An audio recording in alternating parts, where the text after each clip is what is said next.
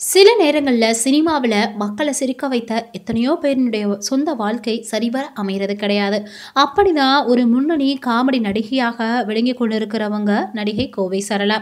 ஐம்பத்தி ஒன்பது வயதாகியும் கூட இன்னுமே அவங்களுக்கு திருமணம் நடக்கலை. அதற்கான காரணம் என்ன அப்படின்றத அவங்க ஒரு பேட்டியில் சொல்லியிருந்தாங்க. அந்த காரணத்தை கேட்டு ரசிகர்கள் ரொம்பவே மனம் நெகிழ்ந்து போய் இருக்காங்க. இருநூற்றி ஐம்பது படங்கள் வரைக்குமே தற்பொழுது நடிச்சிருக்காங்க. அவங்களுக்கு நான்கு தங்கை ஒரு தம்பி இருந்திருக்காங்க. தம்பி தங்கைகளை திருமணம் செய்து வைத்து அவங்களுடைய குழந்தைகளை இப்போ பார்த்து வந்துட்டு இருக்காங்க. அவங்களுடைய குழந்தைகளை தன்னுடைய குழந்தைகளாக பாவித்து இப்போ வளர்த்து வந்துட்டுருக்காங்கன்றது தான் உண்மையே. இப்படி தம்பி தங்கைக்காக தன்னுடைய வாழ்க்கையை இவங்க அர்ப்பணிச்சிருக்காங்க.